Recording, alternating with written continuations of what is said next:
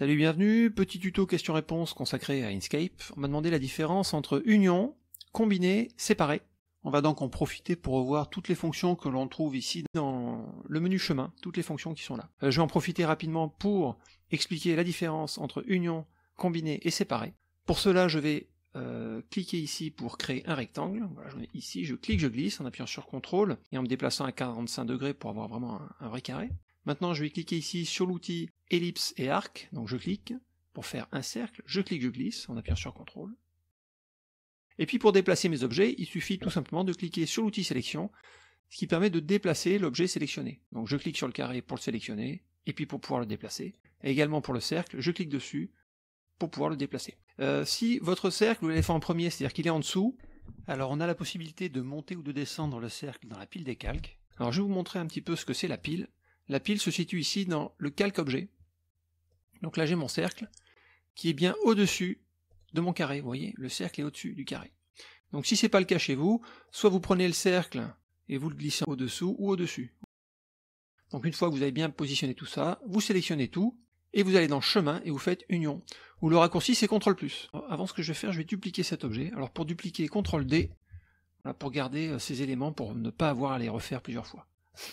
Donc je sélectionne les deux objets, donc soit rectangle de sélection, soit je clique, j'appuie sur Shift et je clique sur mon carré, ou alors je peux même venir les sélectionner ici, je clique, j'appuie sur Shift et je clique sur mon carré. Vous voyez, plusieurs possibilités.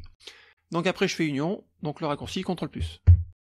Et puis pour euh, combiner, donc on voit que le raccourci c'est CTRL-K, CTRL-K, et on voit la différence, c'est-à-dire qu'on voit ici les contours intérieurs et extérieurs de l'objet. Alors éventuellement, on peut masquer ces contours en utilisant une fonctionnalité que l'on va trouver ici dans la fenêtre fond et contour. Style de contour, on a la possibilité de projeter le contour derrière le fond. Si je clique là-dessus, le contour est derrière le fond.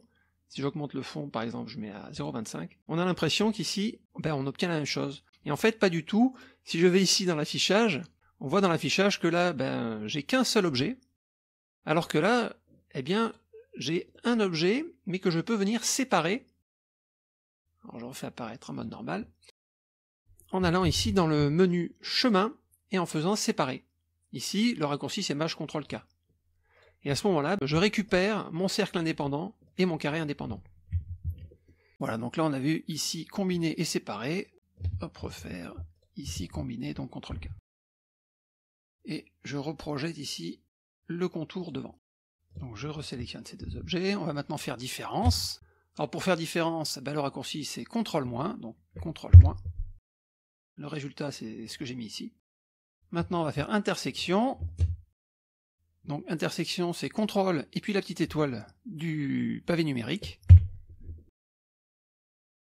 Maintenant on va faire exclusion, alors le raccourci exclusion ne, fonctionne pas euh, chez moi, donc je passe par le menu chemin et je fais exclusion tout simplement. Alors si on s'amuse éventuellement à aller dans chemin et faire séparer, on obtient, vous voyez, deux objets, mais qui ont été rognés ici et ici. Maintenant on va faire division, chemin, division, donc là on obtient deux objets.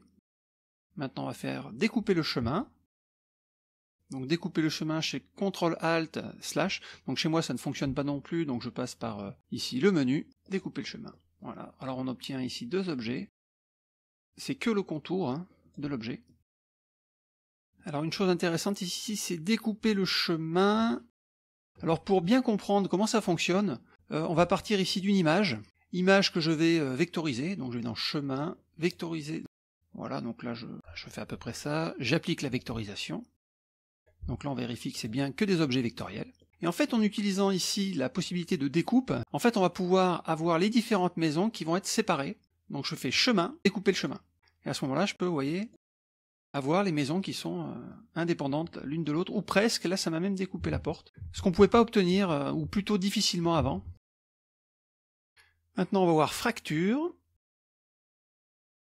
Donc on va dans chemin, fracture. On a comme ça trois objets et on va voir la fonction aplatir, chemin aplatir.